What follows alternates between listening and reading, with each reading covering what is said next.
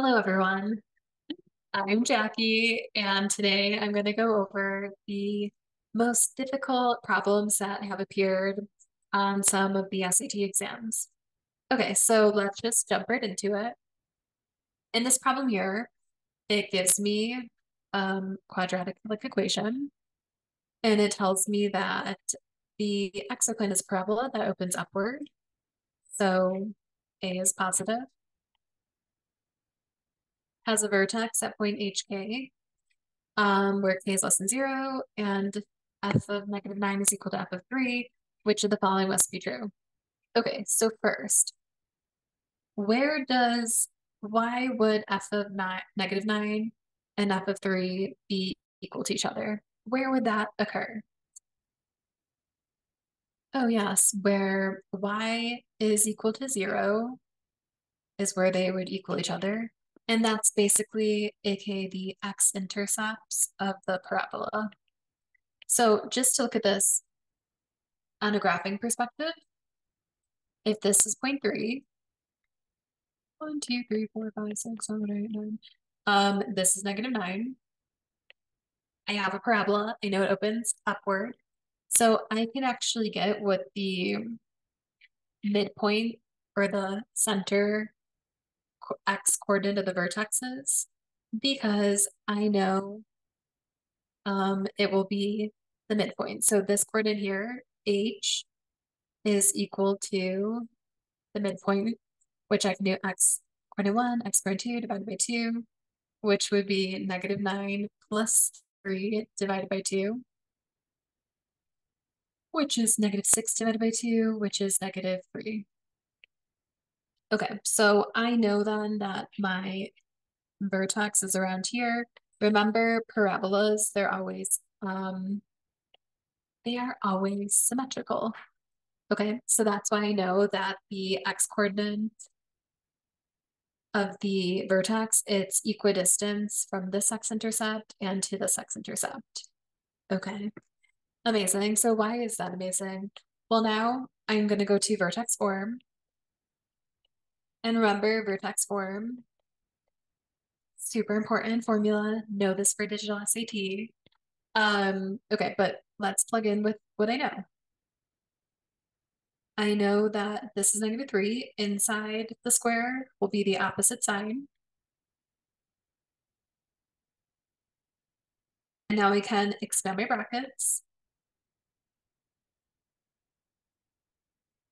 So when I expand this becomes x squared plus 6x um, plus 9 plus k, and then I distribute my a. So this is ax squared plus 6ax plus 9a plus k. And remember, this is all equal to this equation here, which is ax squared plus 4x plus c. Okay, so here I can see ax squared is equivalent to ax squared. Likewise, I know that, um, look at the coefficients to guide you. The 6a must be equal to 4. So if 6a is equal to 4, that means a is equal to 2 thirds.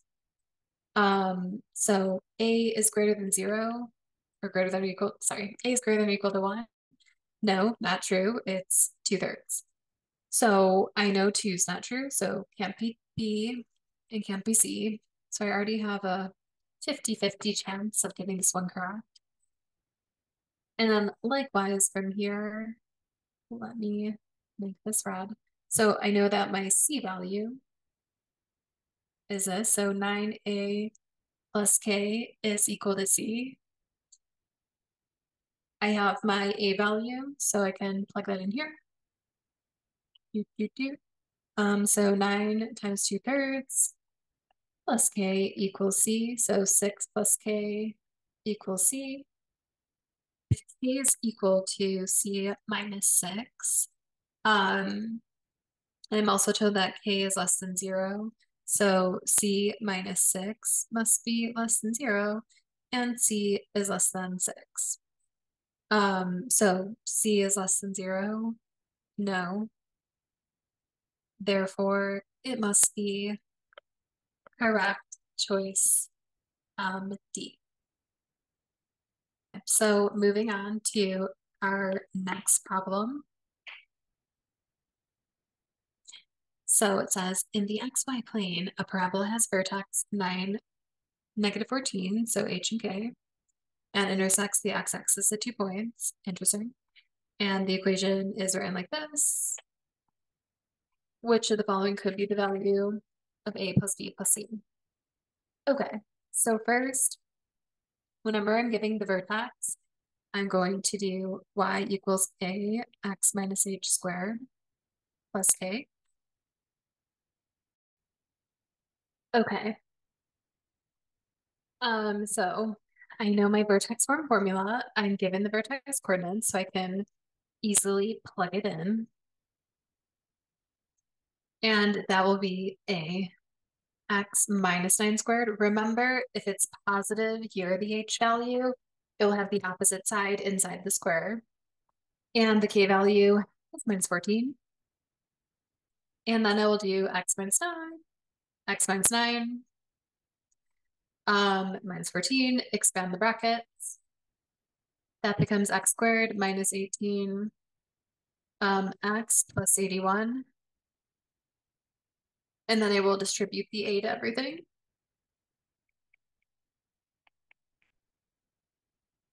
Plus 81a minus 14.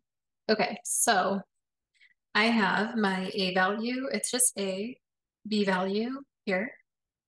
Um, negative 18a.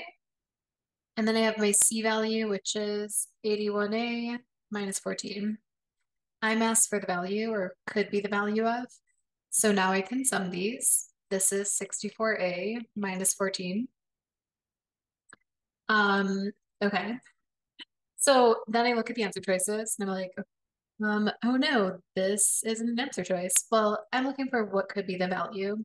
Important. I'm told that this crosses the x-axis at two points. Imagine here, if I have the parabola, and my vertex is around here, let's say this is the 9, negative 14.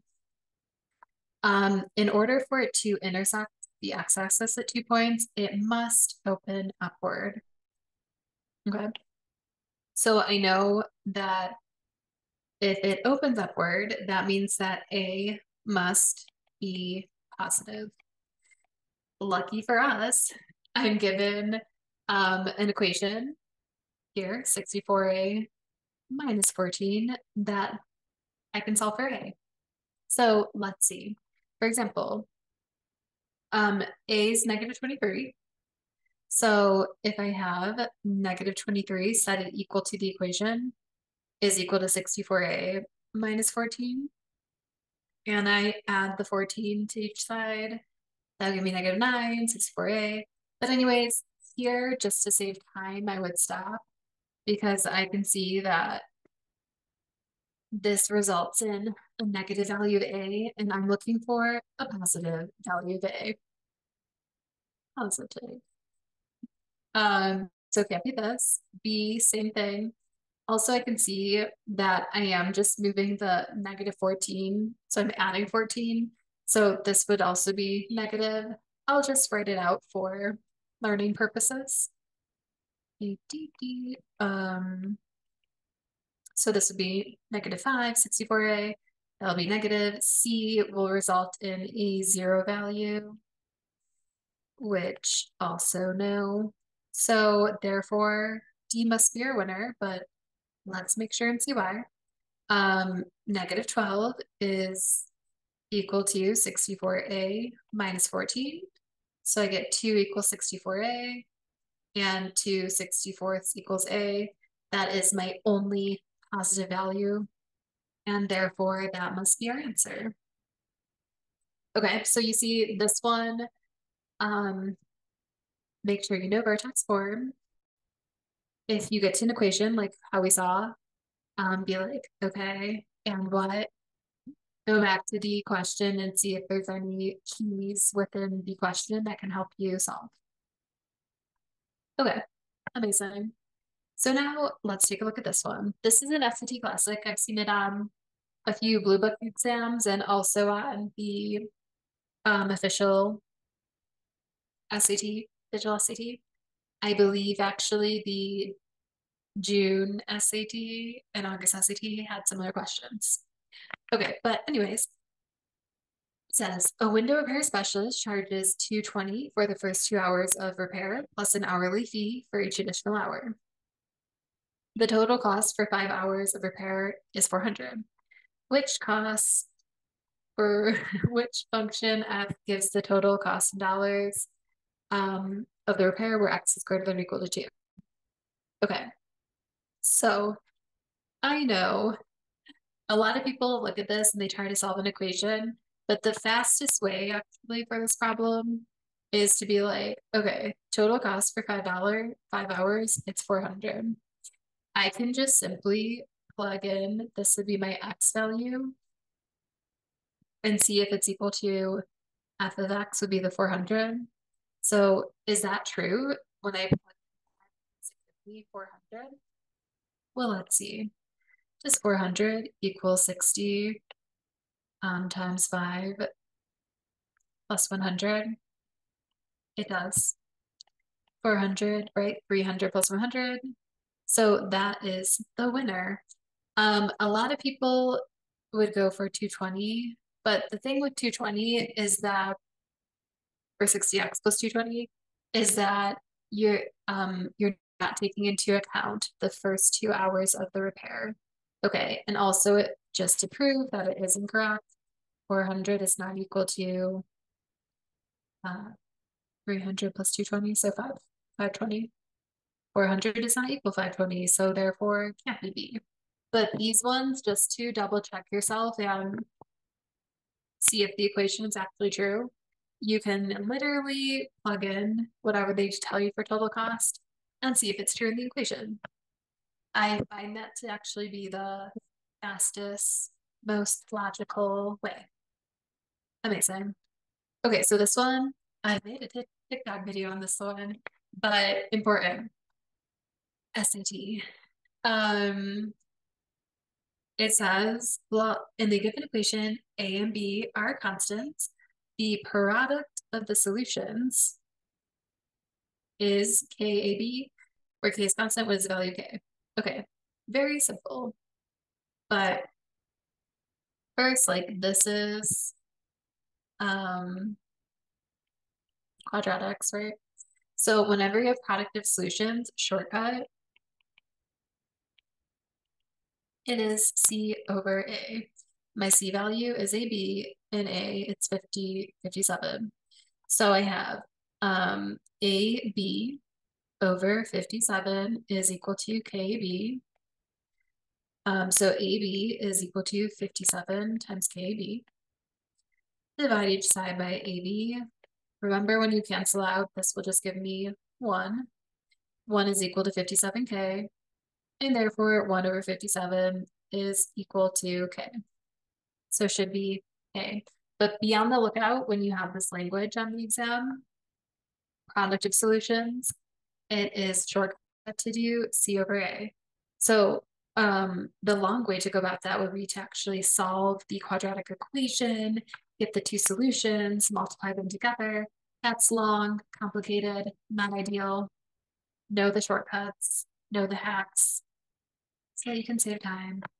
Okay, so now let's look at this one. Hmm. Um, in the given equation, A and B are positive constants.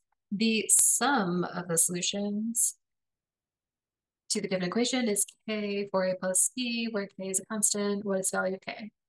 Okay, so likewise, just like the previous problem, if you solved it with me, um, there's another shortcut for sum of solutions, which is negative b divided by a.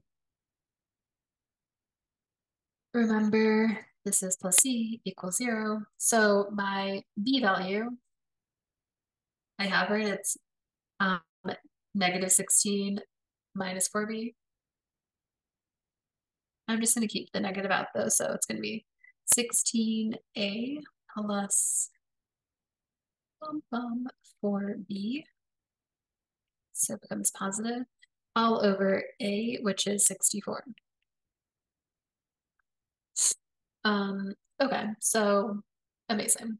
Here it would be like this would be negated, this would be negated, but inside, since I have negative, negative, this is negative, this is negative, it becomes positive again. So this is positive, and it's equal to k over 4a plus b. Okay, so looking at this, um, I can see that I can factor this out to make it look more ideal on the left-hand side. Oh my goodness, I can actually factor out the four, right?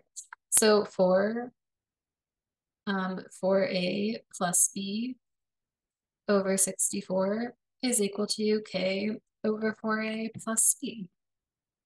Amazing. And then from here, I can see this is equal to this. So therefore k must be equal to 4 over 64, which reduces to 1 16th. And that is the answer. Amazing, right? Okay, so these are just um, some difficult SAT questions that have come up. You can see they aren't really difficult. You can use shortcut hacks, sum of solutions, product of solutions, um, plugging in, and really knowing vertex form. And that will help you boost your score, especially if you get a vertex form problem. They're very popular. Quadratics are super popular as well. So hopefully this video is helpful and I'll catch you in the next video for more SAT tricks, hacks, and other amazing things to help boost your score. Thank you. I hope you enjoyed this video.